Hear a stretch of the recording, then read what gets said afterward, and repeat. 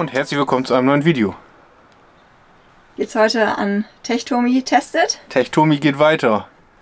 Techtomi geht in die nächste Phase.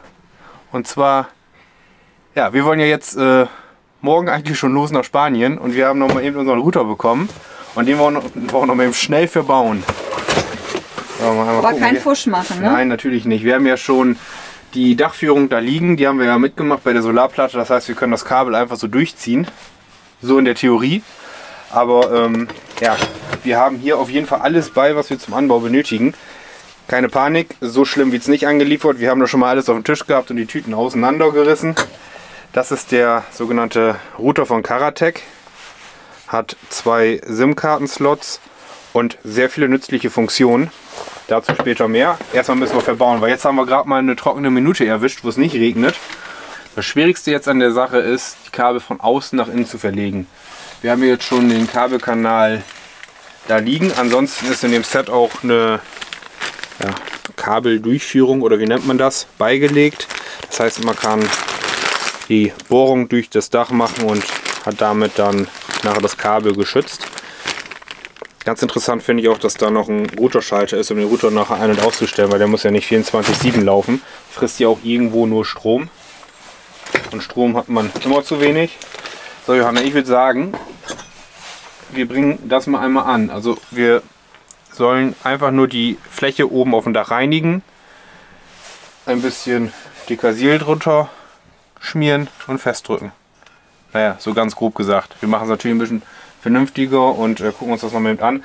Aber lass uns mal einmal gucken, ob wir das Kabel jetzt einmal von außen hier reinkriegen. So, wir haben hier ordentlich Kabel. Ich weiß nicht, brauchen wir die ganzen Kabel? Kabel durchgeschnitten. Ja, als wenn. Das ist die Außenantenne, die wird oben auf dem Dach montiert.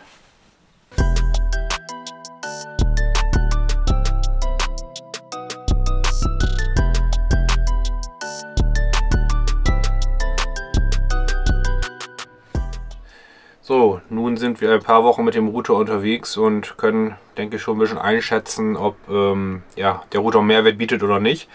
Wir stehen aktuell irgendwo in der Nähe von Ulm. Wir waren mit dem Router schon unterwegs in Spanien, konnten ihn auch einmal im Ausland testen. Und ja, wir müssen sagen, ähm, ja, man kann ihn nutzen. Also wir wollen nicht mehr ohne Router und warum das so einfach ist und warum wir den Router so gut finden, das zeigen wir euch jetzt einmal. Wir hatten ja schon mal den Karatec Fernseher hier vorgestellt und haben auf einer Satellitenschüssel verzichtet und ja, da kommt halt der Router mit ins Spiel, weil der Fernseher braucht dann ein Netzwerk, um YouTube oder Netflix oder normales Free TV zu zeigen. Und ja, wir haben das hier über Magenta TV gelöst. Aber nun einmal zu dem Router. Und zwar gibt es den Karatec Router in zwei Varianten, einmal in 4G und einmal in der 5G Variante. Die 5G Variante, die ist im Moment noch etwas teurer als die 4G Variante. Wir haben uns aber jetzt gesagt, ähm, wenn wir jetzt einen Router verbauen, dann nehmen wir direkt den richtigen Router. 5G ist die Zukunft und ja, 5G funktioniert wirklich gut. Wir haben das jetzt mal ein bisschen getestet und öfter mal ähm, durchgespielt, das Ganze. Also wir haben auch mal öfter einen Speedtest am Handy gemacht, mit 5G und einen Speedtest beim Router gemacht. Da hatten wir erst äh, bessere Werte auf dem Handy als äh, mit dem Router. Da haben wir allerdings gesehen, dass wir im 2,4 GHz äh, Netzwerk waren und dann haben wir das auf ähm, dieses 5 GHz Netzwerk umgestellt und seitdem haben wir äh, ja, brachial schnelles Internet. Was ähm, noch dabei zu sagen ist, aber mit diesem 2,4 GHz und 5 GHz oder Hertz Netz ähm, aktuell ist ja 5 Hertz, alle Mac-Produkte, alle Apple-Produkte ähm, unterstützen diese 5 GHz. Wir haben allerdings noch hier so eine kleine Dockcam, die Johanna jetzt weggeräumt hat beim Aufräumen. Die zum Beispiel unterstützt noch ähm, diese alte Herzfrequenz und daher ist es ganz gut, dass der Router einfach beides kann. Und ja, dementsprechend haben wir zwei Netzwerke, einmal 2,4 und 5 GHz. Und ich würde mal sagen, Johanna, schwenkt mal hier rüber, da ist das gute Stück. Und ja, wir sind mit dem Router sehr gut zufrieden, weil die Funktion einfach ja, viele Vorteile bieten im Gegensatz zu einem normalen Handy-Hotspot. Das ist wahrscheinlich auch der Fall. Ähm, das kann ich euch dann auch direkt wieder ausreden. Viele sagen, was soll ich denn mit einem Router im Fahrzeug? Ich mache mir einfach mit einem Hotspot und einem Handy-Hotspot. Ja, kann man machen. Wenn man ein Apple-Produkt hat, macht dieses Apple-Produkt an, dann fragt auch schon, ja, wollen Sie sich äh, über das Mobilfunknetz äh, verbinden, um ins Internet zu gehen? Ja, das funktioniert sehr gut. Aber wenn man hier jetzt halt so ein kleines Netzwerk im Fahrzeug hat, Fernseher, da ein Laptop, hier ein Handy. Ähm, dann macht ein Router Sinn, dann da noch eine Dockcam, weil mit einem Handy-Hotspot hätten wir nicht die Möglichkeit gehabt, die Dockcam zu nutzen. Und das Ganze macht es mit dem Router sehr angenehm. Und ein wichtiger Aspekt ist noch, ich bin ja mal ein bisschen pingelig mit der Strahlung, wenn man die ganze Zeit so ein 5G-Netz im Ohr hat oder ein LTE-Netz. Das strahlt natürlich mehr als ein WLAN-Signal und wir haben hier jetzt den Router bzw. den Sender auf dem Dach sitzen und es strahlt vom Dach und nicht aus der Hosentasche raus.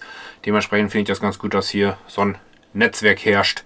Wobei ich auch sagen muss, dass dieses WLAN sehr stark oder sehr weit ausstrahlt. Also wenn wir auf dem Stellplatz sind und haben WLAN an, ja, wir sind aufzufinden.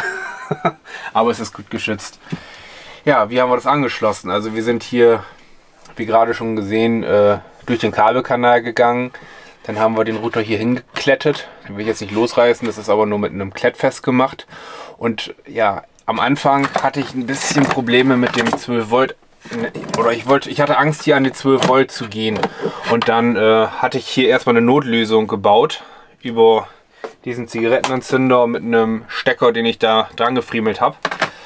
Wir waren aber bei Karatec in Landau und haben eine Alarmanlage bekommen und kurz vor Feierabend, es war wirklich 10 vor 5 und dann haben wir noch mal einmal gefragt, wie die das Kabel verbinden würden. Und dann hat Daniel ist der aus der Werkstatt, ne? Ja. Daniel gesagt, ja komm, fahr das Fahrzeug noch mal rein, wir machen das schnell mit. Da soll jetzt natürlich kein, keine Anspielung auf allen sein, dass ihr Karatec um kurz vor Feierabend stürmen sollt mit so Sachen. Aber wir waren sehr froh, dass er gesagt hat, ja komm, ich gucke mir das noch mal eben an. Das ist nicht selbstverständlich und das ist natürlich auch nicht die schöne Art, kurz vor Feierabend mit so Fragen zu kommen. Aber wir sind heilfroh, wirklich heilfroh, dass wir es jetzt angeschlossen haben, weil jetzt können wir es richtig nutzen. Hier haben wir einen Routerschalter, der dabei war, verbaut beziehungsweise Daniel hat den Routerschalter hier reingesetzt und ist hier mit dem 12 Volt Kabel an ja, diesen 12 Volt Anschluss da gegangen. Aber wie gesagt, das war ein Kabelkanal, das war die Hauptleitung. Wir oder beziehungsweise ich persönlich hatte Angst, da jetzt ranzugehen und habe dementsprechend dann ja, die Spezialisten gefragt bei Karatec und die haben es mal gemacht. Sieht auf jeden Fall viel schöner aus. Es ne? sieht sehr, sehr viel schöner aus. So, wir kommen gar nicht auf den Punkt. Wir reden, wir schweifen nur ab. Routerschalter. Router aus, Strom weg, Router aus. Machen wir mal wieder an. Und zu der Einrichtung. Die ist super einfach. Wir haben hier einen QR-Code mit bei, der klebt einmal hier drauf und man kann ihn auch noch hier kleben. Den scannen wir mit dem Handy ab und kommen dann direkt auf die Karatec-Oberfläche.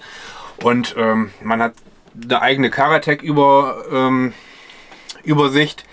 Und ähm, da kommen wir jetzt schon zu den Vorteilen, weil das ist ein Teltonica-Router, mit einer Karatec Software. Und Karatec hat in dem Fall das Ganze vereinfacht und man kann, ja, wir zeigen das gleich nochmal am Handy, die Bedienung sehr einfach dann durchführen.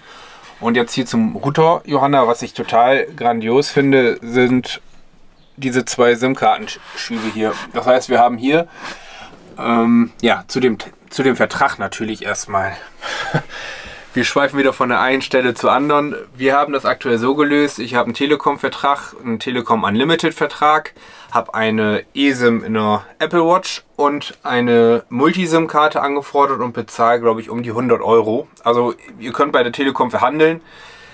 Wie gesagt, wir haben ja den Unlimited, äh, wir haben Internet frei in Deutschland und im Ausland 50 GB im Monat zur Verfügung. In Spanien waren wir jetzt zwei Wochen, wir haben jeden Tag Fernsehen geguckt, wir haben Videos hochgeladen, wir sind ja, bei weitem nicht an die 50 GB bekommen, gekommen, beziehungsweise wir haben keine Meldung bekommen, dass wir ein gedrosseltes Internet haben. Das heißt, wir kommen mit einer SIM 1 sehr gut aus aktuell. Unsere Notlösung wäre aber gewesen, wenn unser Datenvolumen vollgelaufen wäre, dann hätten wir uns wahrscheinlich keinen Datenpass nachgekauft, dann hätten wir uns einfach eine Prepaid-SIM-Karte aus dem Ausland geholt und die kann man dann einfach hier reinschieben. Und wenn das Datenvolumen hier leer ist, dann schaltet man einfach die zweite SIM ein und fertig. Also bietet sich oft an im Ausland ja, einen Anbieter aus dem Ausland zu nehmen, weil es einfach günstiger ist. Und hier haben wir noch ähm, vier Internetports und einen WAN-Port. Äh. Und ja, ob man das jetzt im Wohnmobil braucht, weiß ich nicht. Aber wenn man irgendein Gerät hat, was jetzt kein oder nicht WLAN-fähig ist, dann kann man Netzwerkkabel anschließen. Wenn man den Router zurückgesetzt hat, dann und oder das WLAN deaktiviert hat, dann kann man noch mit dem nahen Kabel wieder rangehen und das WLAN wieder einschalten. Ist uns auch mal passiert im Urlaub, da hat man kein LAN-Kabel dabei. Klappt dann auch mit dem Reset. Und ja, ich würde mal sagen, wir gehen mal einmal auf die Funktion ein. Das können wir aber am besten einmal am MacBook machen. Router eingeschaltet ist, gibt es eine standardmäßige IP-Adresse, auf der die Oberfläche aufrufbar ist. Man kennt es von der Fritzbox. Hier ist es die 192.168.1.1 und dann kommen wir hier in der, auf diese Karatec-Oberfläche. Und hier können wir uns jetzt mit unseren Benutzerdaten einloggen. Die stehen einmal oben auf dem Barcode oder man kann sie halt selber definieren. Wir haben sie jetzt nochmal selber definiert, das heißt, wir können den Barcode filmen, können den Code sehen, könnt euch aber nicht bei uns einwählen. So, dann gucken wir hier, Johanna. Einmal gehen wir rein und wir haben ein falsches Kennwort. Vorführeffekt. Nehmen wir doch das von, von dem Label. Wir haben es ja einmal zurückgesetzt, als wir die Einstellung nochmal überprüft haben. Erinnerst du dich? Haben wir ein bisschen rumgespielt mit dem Router und die Funktion getestet. Hier sind wir jetzt bei der, oder auf dieser speziellen Karatec-Oberfläche und die Oberfläche vereinfacht das Ganze ungemein. Das gibt es aber auch fürs Handy, ne? Also ja, Handy auf, dem, auf dem Handy kann man es genauso aufmachen. Also im Handy lässt sich die Seite natürlich genauso aufrufen, wenn wir dann im WLAN sind. Ich mache das WLAN mal mal an. Wichtig ist natürlich, klar, ohne WLAN keine Verbindung zum Router, keine Oberfläche, selbsterklärend. So, jetzt rufen wir die IP nochmal auf und jetzt haben wir praktisch das Bild, was, was wir hier jetzt gerade auf dem Notebook haben, auch auf dem Handy. Aber ich denke, auf dem Notebook ist es einfach einmal zu erklären. Wir sind hier gerade verbunden mit einem ja, Telekom mit einer Telekom-SIM-Karte und wir können hier jetzt auch ein externes WLAN scannen. Das gibt es hier nicht wahrscheinlich, weil wir auf dem Firmengelände stehen. Wenn man ein externes WLAN hätte, das ist auch der Vorteil ähm, von der Antenne auf dem Dach, wenn man auf einem WLAN, ach, wenn man auf einem WLAN, wenn man auf einem Campingplatz steht und man kennt es, das Fahrzeug schirmt ab, man hat vor der Tür WLAN-Empfang, im Fahrzeug nicht mehr, dann kann man das, ähm, den WLAN-Empfang vom Platz mit der Antenne abgreifen und hier direkt ins Fahrzeug ausstrahlen. Und wir haben jetzt mal einen Scan gemacht und hier gibt es sogar einige Netze. Wenn wir die Zugangsdaten hätten, dann könnten wir uns in das Netz einwählen und dann hätten wir praktisch mit der Antenne einen WLAN-Verstärker und hätten das WLAN verstärkt hier im Fahrzeug. Was ich persönlich aber nicht empfehle und auch nicht gut finde, weil ich weiß nie, wie die Netzbetreiber bzw. die Stellplätze das Netzwerk sichern und ich möchte ungern mit meinen Daten in einem anderen Netzwerk zu sehen sein. Also da bin ich immer vorsichtig, es ist möglich. Macht vielleicht Sinn, wenn man beim Kumpel ist und will das Hausnetzwerk ein bisschen abgreifen und ja, das im Fahrzeug nutzen. Für uns ist es aber immer interessant, wir haben halt immer die Telekom-Karte drin. Und ja, man sieht schon, dass wir ordentlich hier Datenvolumen durchgeballert haben. Wir haben schon 269 GB runtergeladen und 33 GB hochgeladen. Wobei ich sagen muss, das hätte mehr sein müssen. Johanna, das müssen wir gleich mal schwärzen. Das ist die Simpen. Aber das kriegen wir auch wahrscheinlich noch geschwärzt. Internes WLAN. Das heißt, hier sind die WLAN-Netze oder hier kann man die WLAN-Netze umbenennen, die wir jetzt haben. Das war das gerade angesprochene 2G und 5G-Netz. Das heißt, ich habe hier zwei Netze eingerichtet. Das muss man auch nicht machen, das kann man machen. Also es ist auch schon sehr gut von Karatec vorkonfiguriert. Dann heißt das Netz Karatec. Wir haben es jetzt Home geparkt genannt, einmal 2G und 5G. Je nachdem, ja, was für ein Gerät man da hat und welches welche Frequenz man nutzen will. Hier sieht man jetzt gerade auch äh, MacBook Pro von Thomas ist hier im WLAN eingebaut wählt und so hat man auch noch ein bisschen Überblick, was da passiert und wer sich da eingewählt hat. Und wir können auch ein Gast-WLAN erstellen. Das heißt, wenn Schwiegereltern kommen und äh, Schwieger, Schwiegervater hat die, sein Datenvolumen wieder aufgebaut, dann können wir auch einen Gastzugang aktivieren und dann auch Limits setzen, wie viel Daten sie verbrauchen dürfen. Finde ich cool. Ob man es dann nutzt, weiß ich nicht, aber es ist nice to have und ich denke, doch situationsbedingt kann man es nutzen. Das hier ist jetzt die Karatec-Oberfläche, bietet halt eine super einfache Nutzung. Wenn man aber ein bisschen weiter ins Thema gehen will, dann kann man doch auch vor, fortgeschritten gehen und dann ist man in der bekannten Teltonika Oberfläche. Es ist ein Teltonika Router mit einem mit einer Karatec Erweiterung oder wie kann man das schimpfen? Also es ist durch Karatec, genau, das ist halt dieser Mehrwert durch Karatec, dass die vernünftige Dachantenne damit bei ist direkt im Set und dass dieses Karatec diese Karatec viel mehr da drauf ist. Weil ich glaube, wenn man nur den Teltonica Router einzeln kauft, dann muss man sich Dachantenne und so eine optional irgendwo zusuchen. Und da ist hier dieses Paket, was stimmig aufeinander ja, zugeschnitten ist und ja, sehr gut funktioniert. Hier, weiß ich nicht, ob wir darauf eingehen wollen, hier hat man natürlich sehr, sehr viel mehr Möglichkeiten und hier ja, kann man halt jedes kleine Detail einstellen. Was ich in Spanien ganz interessant fand, wir hatten eine alte SIM-Karte und die SIM-Karte hat sich immer in das falsche Netz eingewählt in Spanien. Und wir hatten die Möglichkeit dann hier nachher in der Teltonica-Oberfläche zu sagen, so nimm das Movistar, wie hieß es in Spanien? Movistar-Netz und ähm, ja, verbinde dich immer mit dem Movistar-Netz und äh, ich weiß nicht, ob es Movistar war, ich meine, das hieß Movistar und dann hatten wir gutes Internet, weil vorher hatten wir mal Abbrüche, ist aber der alten SIM-Karte geschuldet und ja, da, die ist, die ist schon ein paar Jahre älter und das, ja, wird mal, da wird mal Zeit, dass man da eine aktuelle SIM-Karte reinbekommt. Auf jeden Fall hatten wir da dann mit der manuellen Einstellung die Möglichkeit bzw. das Glück, dass wir das manuell hinterlegen konnten und wir hatten ein gutes Internet. Und ja, was ist denn noch zu sagen? Also ich würde sagen, wir machen mal einmal einen Speedtest. Ich habe hier jetzt mit dem Handy LTE. Mit dem Router habe ich 5G. Das heißt, wir haben jetzt schon mal mehr Empfang oben von der Antenne auf dem Fahrzeug als mit dem Handy. Wir können ja mal spaßeshalber mit LTE einen Speedtest machen. Jetzt ist er auch gerade auf 5G umgesprungen. Aber er schwankt immer zwischen LTE und 5G. So, jetzt haben wir einen Download-Speed von 30 Mbit. 40. Reicht voll und ganz zum Streamen und äh, ja, zum Fernseh gucken. Da braucht man so um die 6000 Mbit, wenn man da vernünftig streamen möchte. Für uns auch immer wichtig ist die Upload-Geschwindigkeit, wenn wir ein Video hochladen. Und ja, man merkt gerade schon, dass die Ping-Zeit ziemlich lang ist.